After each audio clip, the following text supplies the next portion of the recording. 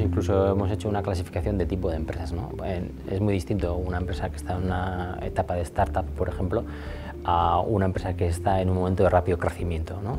Son dos estadios diferentes, pero también es muy diferente una empresa que esté ya consolidada a nivel digamos, local o que esté consolidada a nivel internacional, por ejemplo. ¿no? Y también eh, estamos teniendo en cuenta eh, en qué tipo de sectores se encuentra esa empresa, ¿no? porque pueden ser de sectores estratégicos o sectores que son auxiliares de esos sectores estratégicos. Por lo tanto, eh, nosotros le hemos dado mucha importancia en el ciclo de vida de la empresa eh, dónde te encuentras tú para poder compararte, porque puede haber empresas en rápido crecimiento que son pequeñas y grandes. Entonces, no solo es el sector, no solo es, em, no solo es el tamaño, sino también le hemos dado mucha importancia al ciclo de vida. ¿En qué momento del ciclo de vida te encuentras?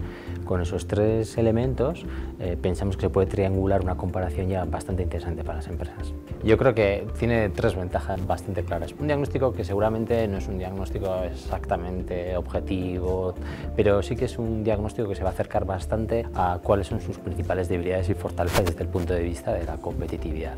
La segunda gran ventaja que tiene esta herramienta es que eh, está pensada hacia el futuro en el sentido de que va a proponer a esa empresa acciones de futuro.